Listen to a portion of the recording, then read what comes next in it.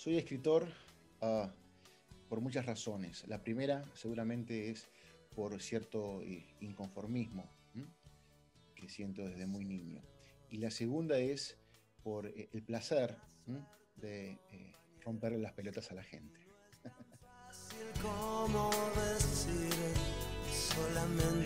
Ah, la lectura ocupa un lugar muy importante en, mi vida, también desde muy chico.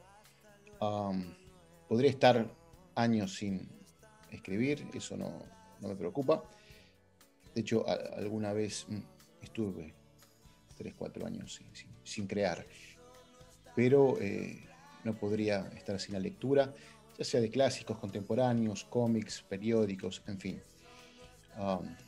creo que soy un lector voraz y eso hace eh, más llevadera la vida.